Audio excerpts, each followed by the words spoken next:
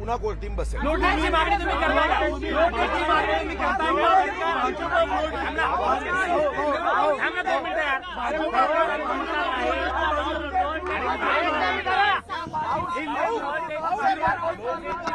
सरकार अल्पमतात आहे हे राज्यसभा आणि विधान परिषद नंतर तिथं झालं होतं तुम्ही करता एक चौथी मागणी- शिवसेना के शिवसेना के ग्रुप लीडर शिवसेना के गट नेता श्री एकनाथ शिंदे जी की ओर से हमें कोई प्रस्ताव आया नहीं है।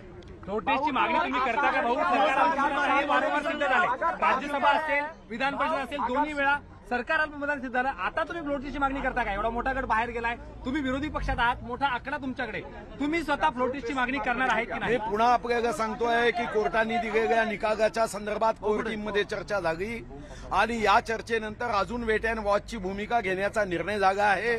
आम्हाला फ्लोअर टेस्टची मागणी करण्याची आज तरी आमच्या चर्चेतून गरज वाटत नाही. यानंतर येणाऱ्या प्रत्येक घटनेनंतर आमच्या भूमिकेमध्ये चर्चा होईल मंथन होईल संवाद होईल आणि त्या संवादानंतर निर्णयाप्रत येऊ. आजची कोर टीम ही सुप्रीम कोर्टाच्या बैठकीनंतर आज ही बै- या बैठकीमध्ये मंथन झाला शिवसेनेचे गटनेते श्री एकनाथ शिंदेजी यांनी आतापर्यंत कोणताही प्रस्ताव दिलेला नाही. देखो, ऐसा है। संविधान में संविधान में पार्टी में जिस और बहुमत होता है, मूल पार्टी के वो नेता होते हैं। यहाँ पे जब हम देखते हैं, दो तृतीयांश टू थर्ड मेजॉरिटी विधायक, अगर एकनाथ शिंदे जी के पास है, हम उन्हें बागी कैसा कहेंगे? आज भी उनकी ओर से ये कहा जा रहा है कि शिवसेना के मूल जो विचार हिंदुत्व का है, हम आज भी इस हिंदुत्व के विचार के साथ है। वो कह रहे हैं कि जो भगवा हमने हाथ में लिया है, वो भय रहित, गर्व रहित, वासना रहित, यह हमारी मूल कल्पना है।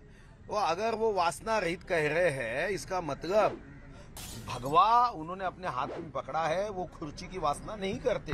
ये उसका अर्थ होता है। तो हमने उसे बागी या बंडखोर कहना ये मैं उचित नहीं समझता।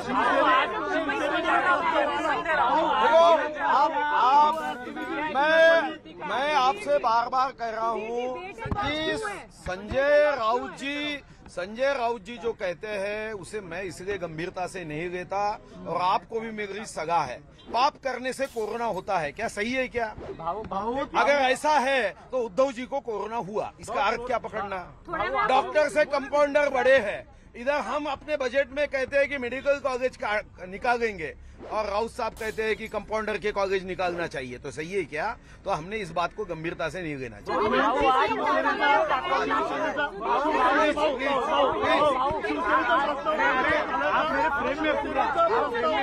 शिवसेनेचा प्रस्ताव तुमच्याकडे आलेला आहे का? शिवसेनेचा प्रस्ताव शिवसेनेचा प्रस्ताव तुमच्याकडे आलेला आहे का? शिवसेनेचा प्रस्ताव तुमच्याकडे आलेला आहे का? एकनाथ शिंदे सोबत तुमचं काही बोलणं झालेलं आहे का? एकनाथ शिंदे मी पुन्हा आपल्याला सांगतोय हे कोणत्याही गटाची आमची कोणतीही चर्चा झालेली नाही. आम्ही वेट अँड वॉचच्या भूमिकेत आहो. आणि आम्हाला विश्वास आहे की येणाऱ्या दैनंदिन घडामोडीनंतर भारतीय जनता पार्टी योग्य निर्णयापर्यंत पोहोचण्याच्या दृष्टीने चर्चा